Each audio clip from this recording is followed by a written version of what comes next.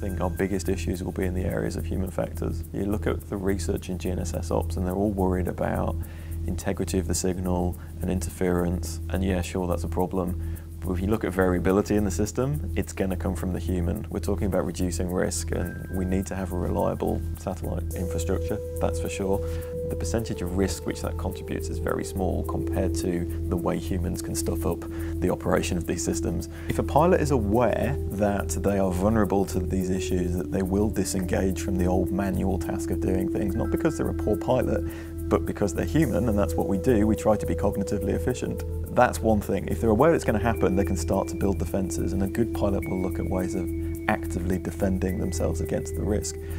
But if we just base all of our countermeasures in the future on training, we're in trouble. We need to take it back to design. We need to get good human factors thinking into the design of these systems. If the system is easy to use, half of our problems go away. We're going beyond the point where we're just strapping in technological tools to the cockpit. All the systems, even in general aviation, our aircraft are becoming incredibly highly integrated. Even pre-flight planning, where we can now pre-flight on an iPad, walk into the aeroplane and download that flight plan into our avionics suite think about the interface, think about the junctions where there's potential for data to be communicated wrongly, not through the technical side of the system, but through the human side of the system. We need to make sure that at each point we're doing that in the best way for the human. Just be aware that there's a lot of similarity in the way the systems work. And that's great. You've got one process, you've thought it through, you can apply it to those different boxes. But where they're different, that's when you can get caught out. And particularly if you're having to deal with that difference in a time compressed part of the trip, during approach, in difficult weather, or being asked to make some sort of navigational change under pressure. Of course, there's an obligation and a requirement when you're entering data into GPS, GNSS boxes that you cross check it against some other reference to make sure it's okay. And it's important to know how important it is to cross check and to make sure that you hold up the ship, hold everything and make sure it's done so that you're confident in the uh, data you've put into that system.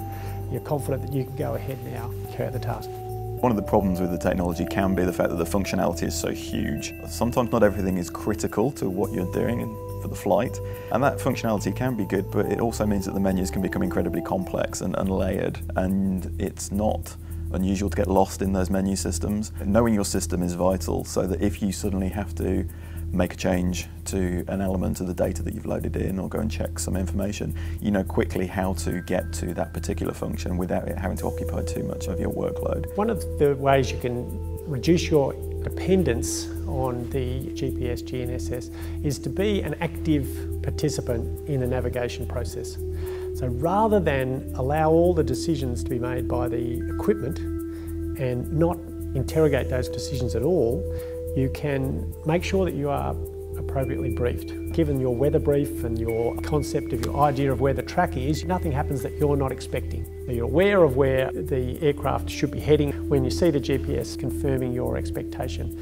The other thing you can do is be aware of what some of the limitations are around its performance and around the track that you're going to be taking. So if you're going to start letting a GPS or GNSS take you direct to another waypoint, it's really important that you know about your original track, you know where the new track is, and you are fully briefed on what some of the minimum safe altitudes, what some of the hazards are. That takes pre-briefing, that takes good threat and error management. So you're being taken somewhere by the box, but you are aware of the bigger picture and what the implications of changing those earlier decisions might be. It does come down to maintaining good situational awareness. And if you allow your sole source of information to be a GPS or GNSS box, then you've become highly dependent on that. And a good situational awareness is being able to manage when things not only go right, but also go wrong. And to do that, you need a broader, bigger picture so that you can stay ahead of the aircraft, stay ahead of the box, if you like, and so that when it's making decisions around what the aircraft's doing, you're already prepared for that and it meets your expectations. We're getting an increasing number of incidents around uh, mismanagement or over-reliance on GPS, resulting in people in aircraft being in dangerous situations. And quite often they don't lead to any severe consequences. However, the potential is very high. If you're over-relying on a particular box, it's taking you somewhere you don't even realise you're there, the potential is very high that you're going to end up, if not having an accident, potentially coming quite close to one. Because we're decommissioning a lot of those old navigation aids, there is going to be that move to being more reliant on them, we better start using them more effectively and being more vigilant about the way that we put information into them and the way we interpret information coming out of them.